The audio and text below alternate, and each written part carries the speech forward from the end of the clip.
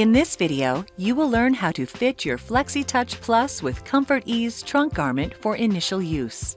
Untuck the hose and unfold your trunk garment.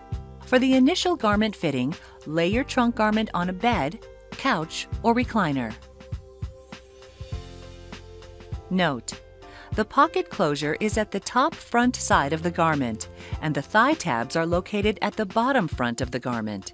Take a moment to locate the zipper on the front of the trunk garment. The zipper will allow you to get in and out of the trunk garment easier. Open the pocket closure labeled 1. Sit down and slide your trunk garment on as you would a pair of shorts. If your legs don't fit into your trunk garment, slide your trunk garment down and loosen the thigh tabs labeled 2 through 5 to allow you to slide your trunk garment on more easily.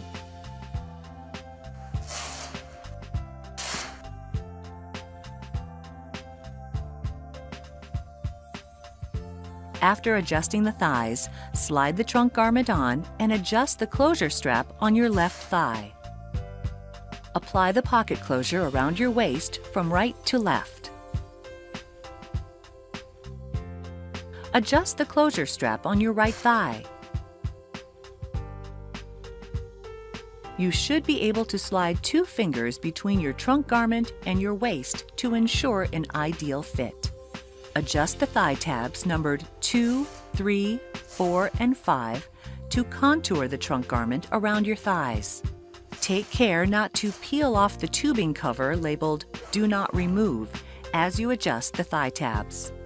Ensuring a snug fit, adjust the thigh straps as necessary to eliminate any gapping in the groin. You may need to tuck the fabric from the front of the thigh piece down into the garment if it sticks out. To remove your trunk garment after fitting, simply unzip the zipper in the front and slide it off like you would a pair of shorts.